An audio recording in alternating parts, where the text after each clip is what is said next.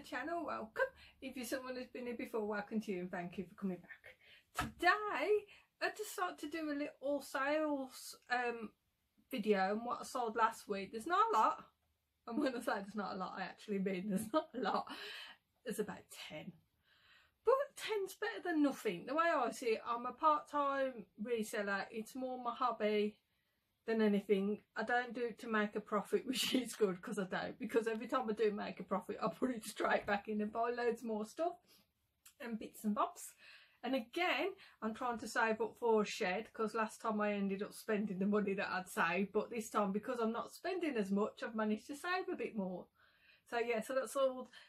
Yeah, sorry about that. As waffled on a little bit. So I, I know some people just want to hear my sales video and not hear me waffling on. So I'll just get my phone and I'll show you what I've sold and then I'll have a little chit chat afterwards. Okay, hang on. So it's Sunday now, Sunday the 10th. So this is from the 1st to the 10th of May today, which is Sunday. So what I'll do is I'll quickly run through them and if there's any little stories about the items I'll tell you afterwards because I know some people are not interested in me waffling. So this first item was a, a wrap book sold for six ninety nine. I think this must have been one of the. I'm sure with the paperbacks it's free for a pound the one shop that I get them from, but I wouldn't have paid more than fifty p. So that's all for six ninety nine.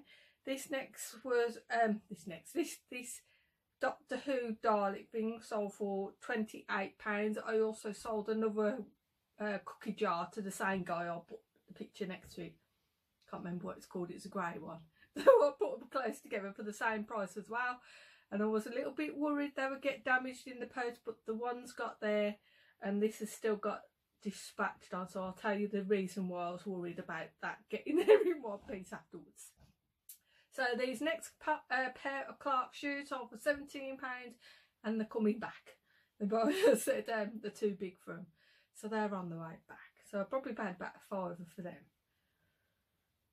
It's annoying, isn't it? It's like, uh, um, it's not annoying because I know everybody's got the right to return stuff, but it pisses me off when PayPal keep their cut. I'm looking forward to this new system thing, if I'm honest, where it's a bit like Amazon, where they just took the money straight away. But then again, are eBay going to up the fees? Probably will.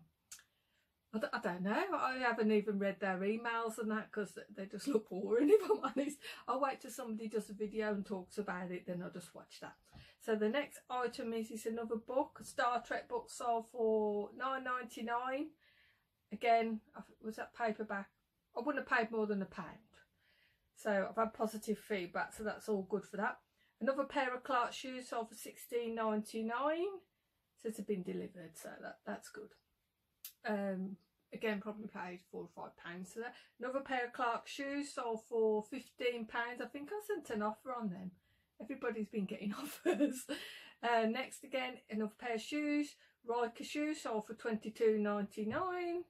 Again, four or five pounds for that. This bloody game, six ninety nine. I think I've, I've had it forever. I probably paid about a five for it at the time because it was brand new and sealed. So yeah, we'll just move on from that one. Next is this necklace, which is part of the stuff that I used to sell on Amazon. Sold for £15. I've left positive feedback, so brilliant. Pair of cotton trader shoes. These were in really good nick. I've got chunky as well. Sold for £16. Again, with shoes, I tend to pay four or five pounds. This again, I'm really loving my books at the moment. Like, you know, well, I've got loads that haven't sold, but this one sold for twenty nine ninety nine comics for business or something. I haven't got a clue what it's on about, but twenty nine ninety nine for a book. Again, I, I wouldn't have paid more than a pound. In fact, I think I can't remember if it's paperback. If it was paperback, I wouldn't have. It would have been the free for a pound. But yeah, sometimes I just it's shocking, in it?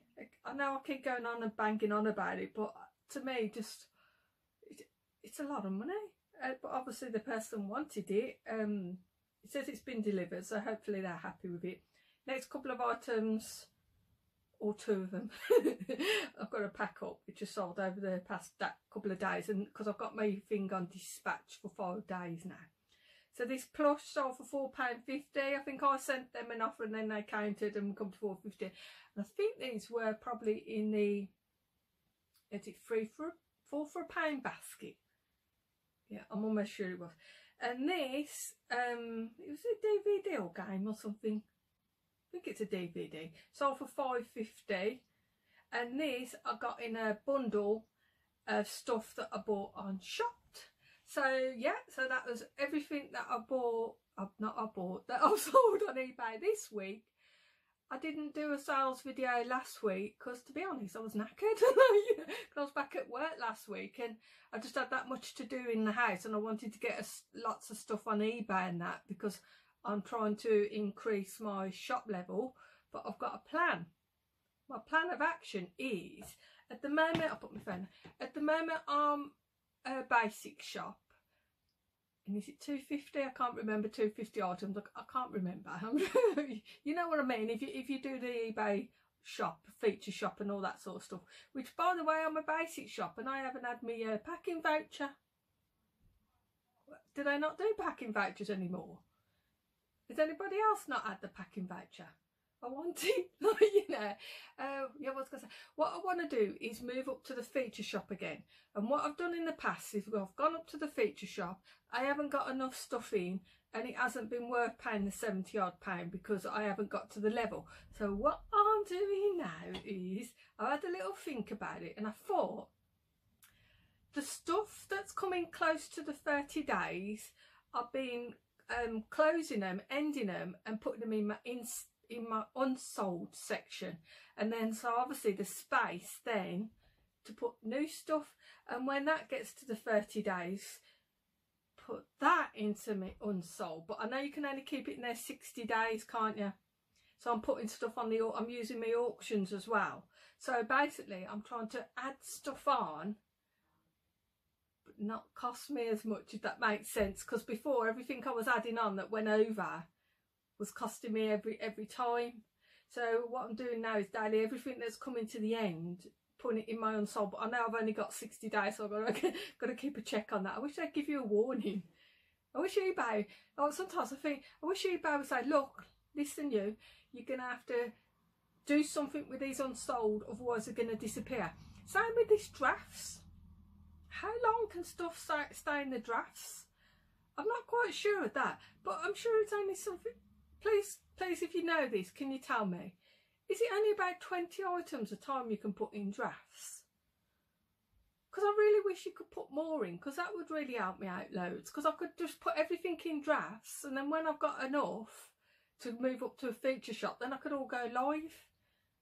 But why? If it's only about 20 items, which I think it is, blooming stupid if you ask me. Try and, I just think sometimes with eBay, well, I don't know how to describe it. Sometimes I just think, could you, could I just send you an email and you can just do this to make life a bit easier for people, please? I just think that would make things easier. But maybe I'm missing, so this is sometimes where I think maybe I'm actually missing something and everybody else knows how to do it better. Do you know what I mean? Because I said, at the moment, I'm taking, I've got about 200 items live. How many live? Let me check uh, show you. I've got um, 230 active and then 271 in the um, unsold. But obviously I want to put them in um, active soon. But why can't I just put them all in the drafts why can't we use it? Why can't you put more stuff in drafts? So I've got 198 now. Oh, see Liam, that's Liam there. Where's it gone? Come on, you. It says I could, I've got 198 there that I can put on. So I'm going to be doing some more today for that. So I'll just put this back down and I'll be back in a sec because it's, it's at eight minutes. I'll be back in a sec. These cookie jars I bought from round the corner on Facebook Marketplace. I bought these off the same guy. These and there was a load of books as well. Most of the books were all sold. Some of them were like, you know, the Crystal Bible books. Sold some of them, still got some up for sale now. But I think I bought the lot for about £40.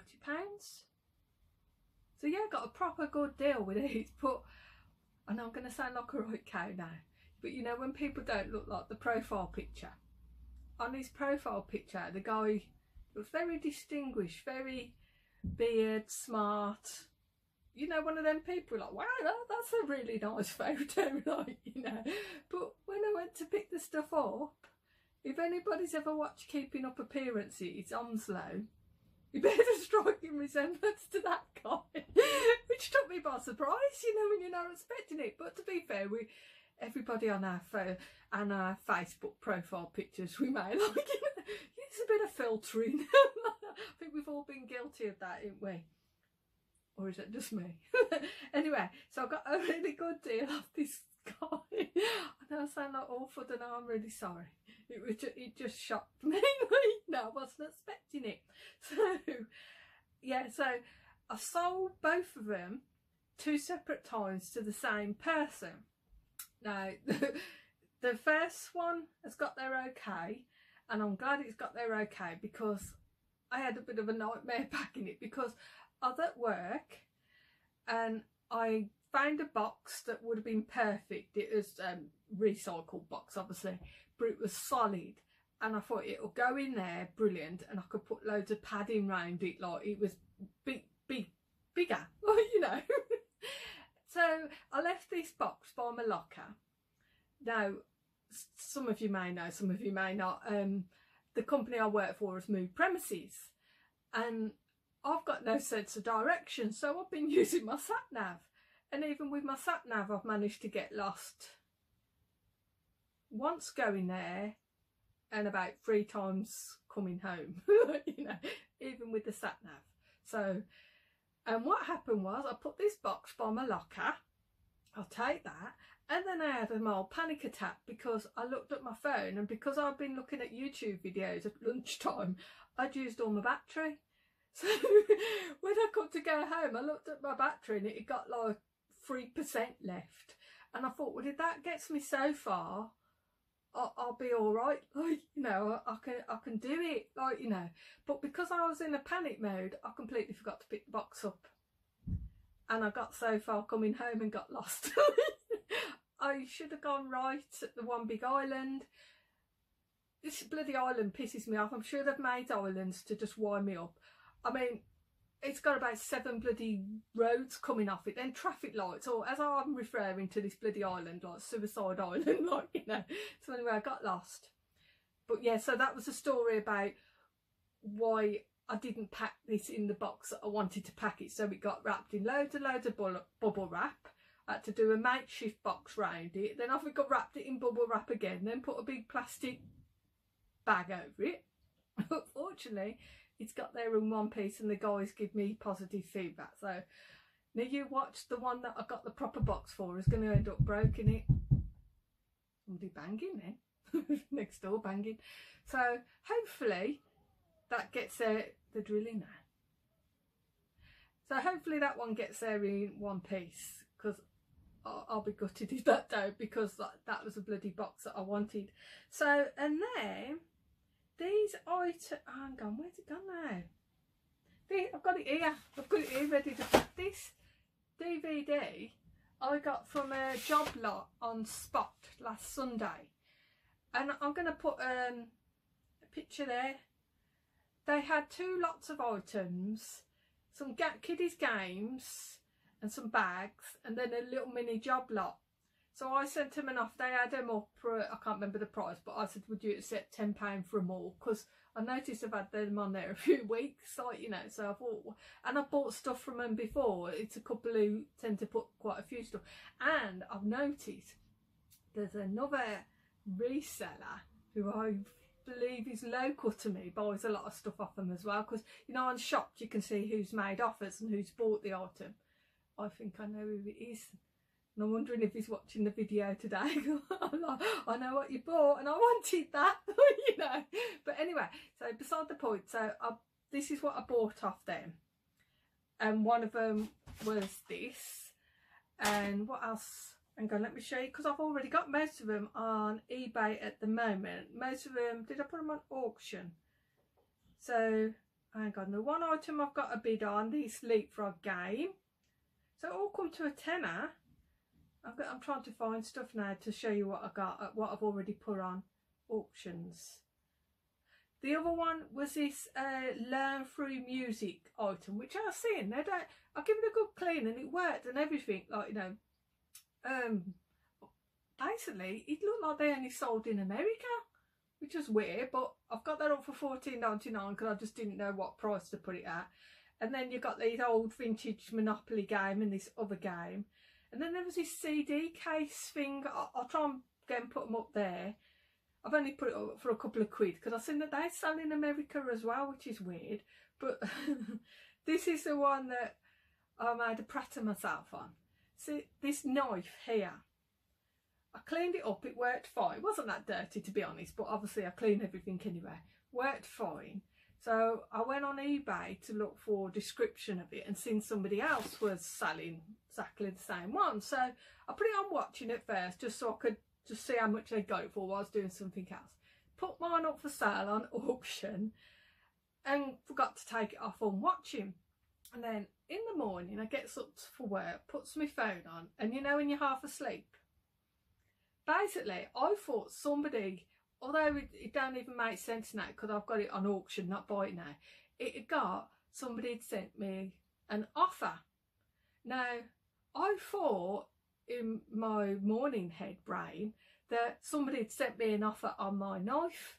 So I accepted it. Oh yeah, and then the next thing it got pay now, and I'm like, I'm confused. I'm gonna pay. What am I gonna pay for? What had happened is obviously because I was bloody nosing at the other person's knife they've obviously gone, oh, you're interested, you know, and sent me in. I felt like, a prat. I've gone and accepted it, getting confused. But that'll teach me a lesson for being nosy, really, when it's a, I'll, I'll learn to be a bit more um, cautious before I go and accept things now. But that's embarrassing because they're probably looking at my stuff now and think, nosy cow, she proper nosing at my stuff there. And I'm like, yeah, yeah, it was. It's like Facebook, in it? it's nosy book really, and it? That's what we do really, and it? We just have a little nosy, and eBay's the same, isn't it? We just have a little nosy. But I know now, so yeah, if somebody sends me an offer to just ignore it, like you know, but obviously read it. And I've got at the moment loads of CDs. I was given a load of CDs free and yesterday I went through them all and I thought, you know what, I'm going to go through my own CD collection and Liam's because we've got loads and loads and loads in the cupboard and I can't, apart from in my car, I don't really play them and to be honest, whenever I'm in my car I've normally got somebody else with me so I don't really get a chance to play my own music anymore, just the radio. So I thought I might as well get rid of them. So at the moment I've literally got them um, just all on auction. Still got to go through a load of them but the ones that I've scanned and look pretty pretty good. When I say pretty good, more than a five, like, you know. So I bundled them up like George Michael, Michael Jackson, the police. Did I put the police on? I'm just scrolling through them now. I'm basically using all my auctions to put the CDs and if they what don't sell then they can go in the unsold section. See, we've got a plan. Not as stupid as I look. so yeah so that's it that's and then oh i'm an idiot i bought because i can't get to the shops i'm missing shopping so i bought a mystery box 18 pound load of rubbish actually i'll go and show you some of the stuff hang on a sec so this was my mystery box I was actually thinking of doing a, a video uh, unboxing my mystery box Liam accidentally opened it because he was expecting a delivery from Amazon. I was at work and you know when Amazon sends you a message and your courier's like two streets away. So even though this come from Royal Mail, not from, not from Amazon, Liam accidentally opened it. And I suppose I could have done um, an unboxing, but you know, one of them, once somebody sort of taught, he says, I opened this box and it had this in and that in. And I wondered, I don't recall opening, uh, opening, ordering that. And I'm like, no, because it's bloody mine. so anyway, I thought, oh, sorry, I want to see what's in it anyway. So I thought, can't really do an unboxing now because I know what's inside and that's like cheating in it. So it's all right, the stuff. I've got a couple of stuff on eBay already, but the other stuff, in not much way. I'll tell you, show you the rubbishy things first. Like that. Don't know what it is. Some kiddies thing. I don't know. Some mega rocket. Got that in there. To be honest, it's a mystery box, so I, I took the chance. Some bubbles. A selfie stick. I'm going to keep that actually for this bit and that. If it had a tripod would be better, but I'll keep it for that. And then I got this tooth. Uh, this is what I put this on eBay already. Some toothpick or something apparently comes out.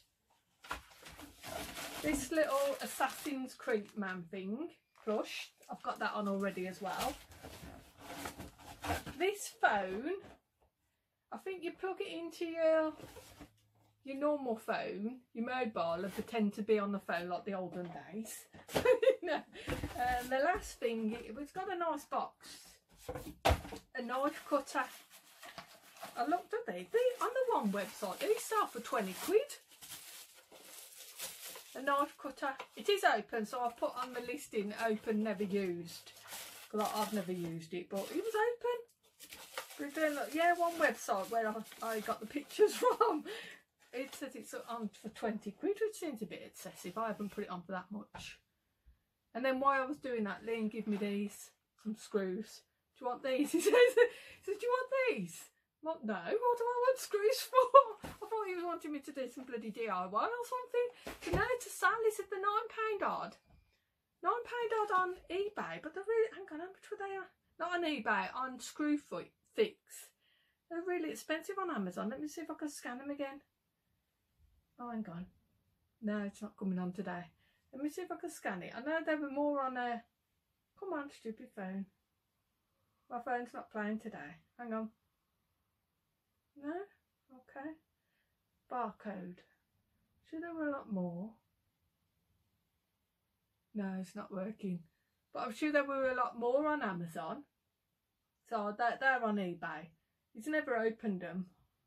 Plasterboard screws or something. So yeah, so I bought stuff on Shpock and I bought a mystery box and I don't think I'll be buying a mystery box again in hurry. I thought there might be something for me. Well, nothing for me. And this thing's broke again. You know, I bought a new one. Look, put it on. It's plugged in. It's plugged in, isn't it? Yeah. You know, my other one broke. Stopped working. This one, how long have I had this? I showed this in the last video, didn't I? Isn't even a year old and that's why off me the back of my hair I had to try and use my uh, straighteners to get on my hair because my hair needs cutting and there's nothing open. And I'm wondering when the shops are going to be open like normal because I need a haircut and I'm thinking maybe get take a good few inches off because my hair is really thin and as it gets longer it gets even more scragglier but I don't know when that's going to be. So I thought, you know what, I'll try and curl my hair, try and make it look a bit smarter. And as you can tell, it didn't work. you know, I thought, oh, for God's sake, why are you broke now? I don't even know where the receipt is. Look, nothing. It's literally not doing anything anymore. I don't know if I've overheated it, but I'm a bit annoyed actually. So anyway, so that's all my sales. Not a lot, but a sale's a sale, isn't it? Like, you know. it isn't a lot, is it? But sometimes I'm just chuffed to hear the ka-ching. My ka-ching went again on my phone. I had to reinstall it. Every so often it just disappears. But then again, it's actually nice when you look at your phone and you've you've got a sale, isn't it?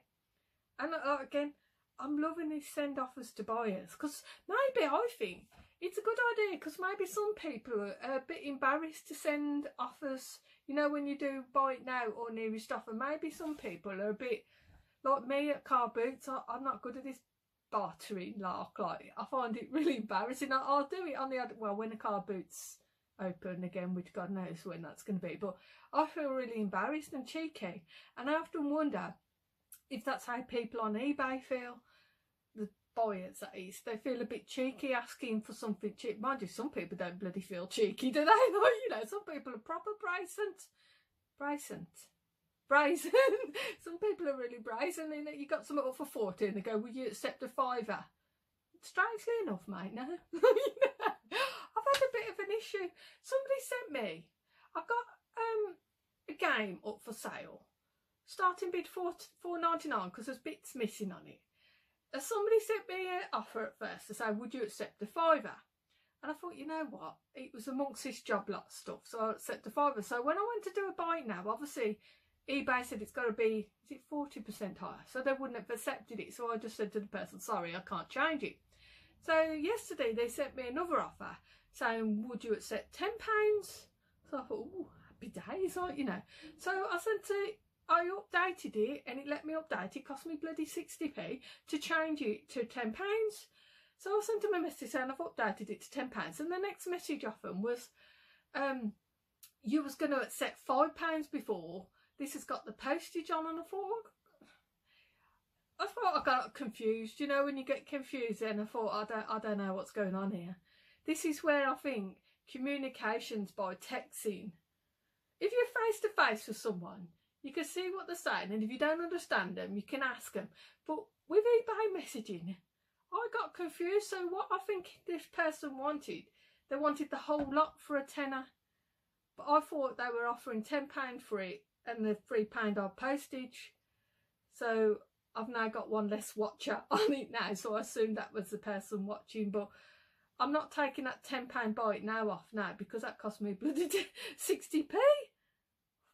Bloody eBay.